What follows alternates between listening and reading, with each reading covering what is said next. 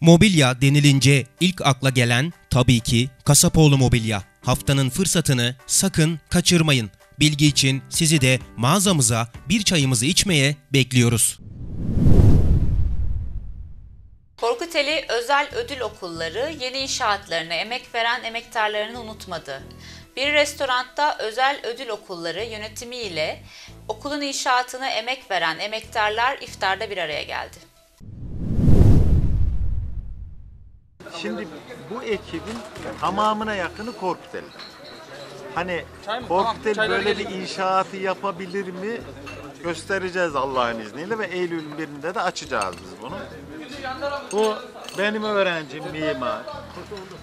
Sığ tesisat, atıyorum fayans, bunların hepsi öğrenci. Gerisi de samimi söylüyorum tamamen Korkuteli'den. Dışarıdan hiçbir firmayla anlaşmadık. Yani bu inşaatı Korkuteli'nin en büyük inşaatı olacak diye biliyorum. Ee, inşallah Korkuteli bunu çıkaracak. Ve iftar yemeği yaptık. Allah kabul etsin.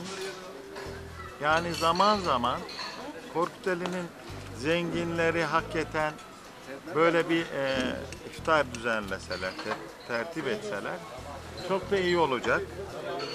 Yani zaman zaman insanlar soruyor hocam bu okulu kimlerle yapıyorsunuz ya da bunu ortaya çıkarabilecek ekip var mı? Bizim ilçemizde hepsi var.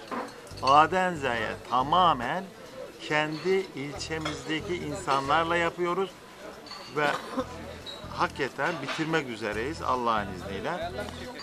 Çok da güzel yapıyorlar, hızlı yapıyorlar, memnunum. Allah da memnun olsun.